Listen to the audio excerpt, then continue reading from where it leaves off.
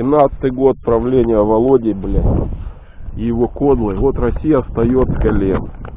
Вот она встает. Просто уже расправила все, что можно.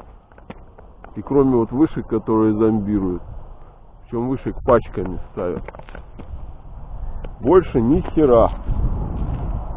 Вот они, дороги, автобаны асфальтовые. Так, автосервис.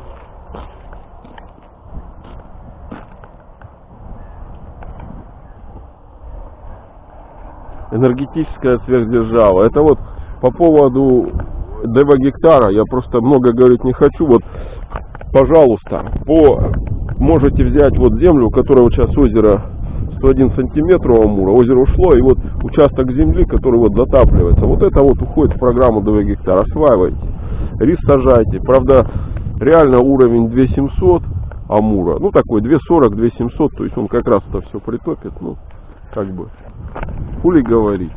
Здесь вот был когда-то кедрач, который сожгли, вырубили, отвезли в Китай, блин, по дешману. Такие же ублюдки. Вот остатки он кедра сосняков просто пожар не тронул, не успели дорубить там. Все.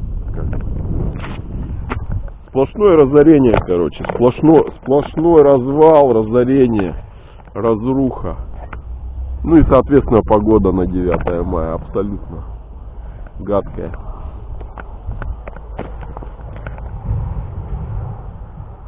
Вон дорога. Едут.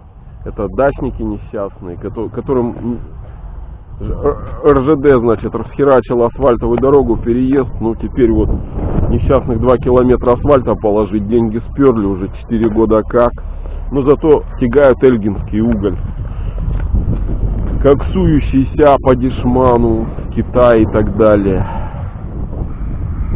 То есть народ, народные ресурсы тягают а народу хер с маслом, без масла даже. Просто. И без соли, и без нихрена. Ладно, не хочется дальше продолжать.